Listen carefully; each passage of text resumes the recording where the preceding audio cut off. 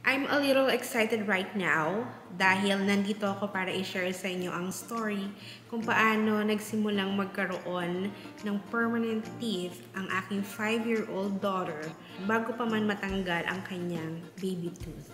Now, every cases is different. Yung iba, natanggal muna yung kanilang baby tooth bago pa man um, tumubo yung kanilang permanent teeth. But yung case ng aking anak is different. Dahil tumubo na ang kanyang permanent teeth bago pa man ma-fell out or matanggal or mabunot yung kanyang baby tooth. So, tumubo siya doon behind. Kung ganyan din ang inyong nararanasan sa inyong mga anak and you are a first-time mom like me at wala pa kayong ibang karanasan, nag-iisa lang ang inyong anak, I want you to know na don't worry, okay? Huwag kayong mag-alala. I want you to know that it's okay, it will be okay, and it will fall out soon. Mabubunot din iyan pagtagal. Disclaimer, I'm not a dentist. Um, yung advice or yung vlog na ito ay based on my own experience. Maaring sa anak ko or sa amin ay nag-work itong process na ito pero sa inyo ay iba, mas maganda pa rin na magsik kayo ng professional help at pumunta pa rin po kayo sa inyong mga dentist. So, paano nga bang nangyari na discover ko na may tumutubong permanent teeth dun behind sa kanyang baby tooth? So, one time habang pinapakain ko siya, meron ako napansing kakaiba dun sa kanyang ngipins. Lauren is now eating nuggets and it's almost falling out. Look. Ow.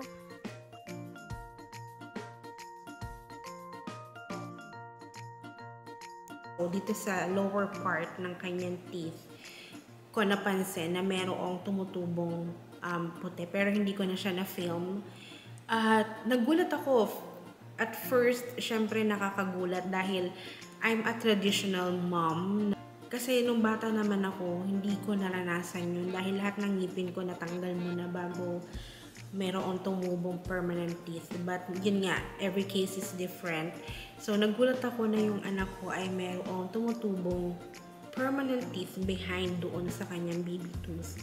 At at first, um, sabi ko, ano ba to Parang songki ba ito? Or um, additional teeth ba ito? So, I freaked out at um, hindi ko alam kung ano bang dapat gawin. And good thing we have Google now at I've watched a lot of YouTube videos and syempre, um, I set up an appointment with her dentist at sinabi niya na it's normal. May mga ganito talagang case. So, I've waited. So, we're waiting for those two front baby teeth to fall out.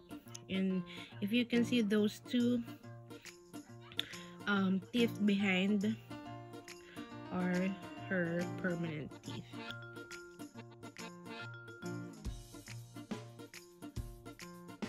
About a month ago meron ako mga clips na ipapakita sa inyo kung paano namin dinocument um, hindi ko na na-document yung mga unang araw na nag-show up teeth kasi hindi naman talaga kapansin-pansin. Nakita ko na lang nung medyo um, nag-show up na yung kanyang permanent teeth behind. At uh, so sinabi ko naman sa anak ko na tara mag-video tayo para when you grow up, meron ka mapapanood na ito yung naging journey mo, mo bago ka magkaroon ng permanent teeth. At nag-agree naman siya. At, at makikita ninyo doon sa mga videos na happy naman siya. I will take a shot of the super bilis ng Ah! No,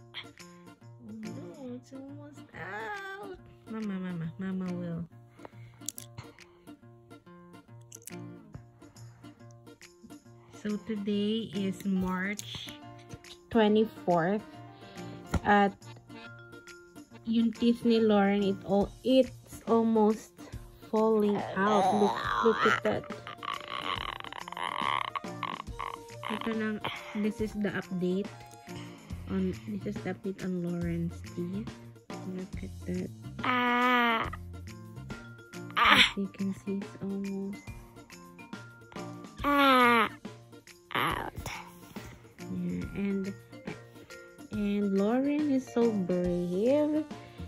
not gonna cry because that's part of growing up, right? Yeah. Yeah, and the other one too. It's um, but I think the the one on the left is one who will fall. Ah. fall ay, almost out. Ay, anak, almost out. Look. Look.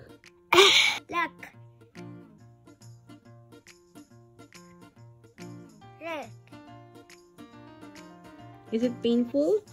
It's a little bit. A little bit painful. Are you gonna cry if kapag nag-bleed? Uh, I'm gonna cry just a little bit. A little bit, no? Kasi lahat ang dadaan dyan, no? Yeah? I missed it. Yeah, and then um, we will keep keep your tooth. And guess what? After I think almost two weeks of filming this journey, but I don't know, maybe a month nang tumubo yung kanyang permanent teeth. Finally, my daughter lost her tooth today.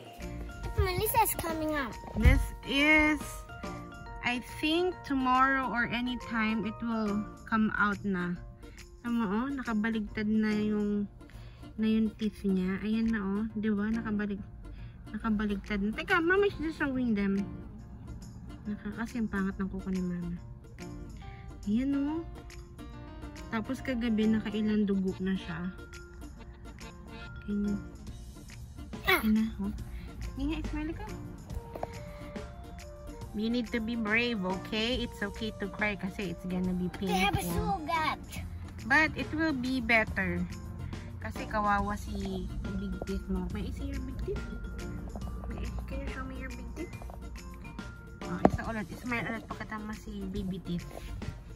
Ah...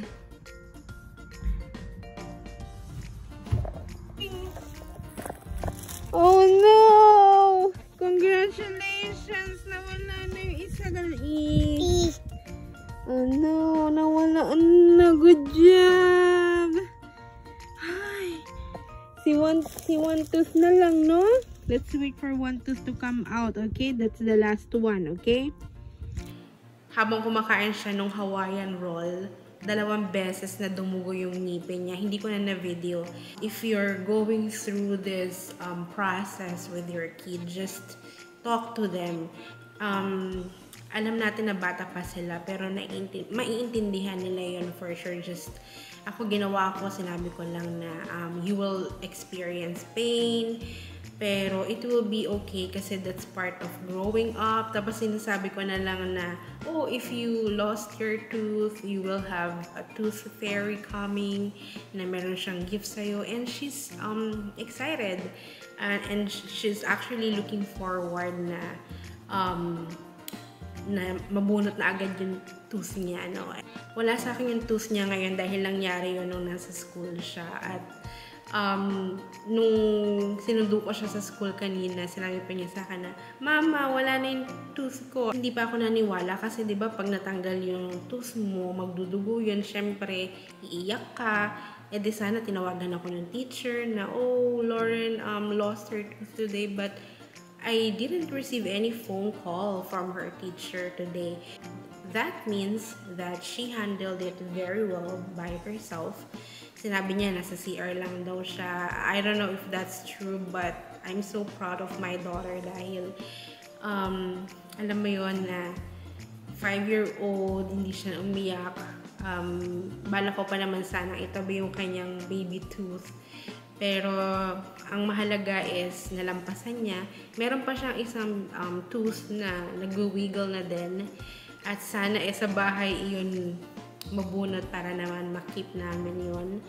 Um, you know, just a remembrance. There you go guys. I think that's it.